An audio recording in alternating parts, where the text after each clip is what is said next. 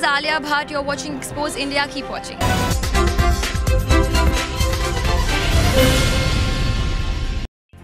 निकाय चुनाव के मद्देनजर उत्तर प्रदेश के गाजियाबाद में मुख्यमंत्री योगी आदित्यनाथ ने सभा को संबोधित किया इसमें उन्होंने अपनी सरकार द्वारा किए गए कार्यों को गिनवाया साथ ही चुनाव में जनता से मांग की कि वो गलत लोगों को ना चुने और अगर गलत प्रत्याशी को चुना तो इलाके का विकास नहीं होगा मुख्यमंत्री ने आगे कहा कि नगर निकाय चुनाव में विकास को आगे बढ़ाने का वादा करने आए हैं और खोड़ा से बीजेपी नेता मृतक गज्जू वाइटी की पत्नी को जिताने की अपील की। अपराधियों को चेतावनी देते हुए उन्होंने कहा कि हम अपराधियों का जीना हराम कर देंगे। उनकी जगह इमराज के पास है या प्रदेश के बाहर?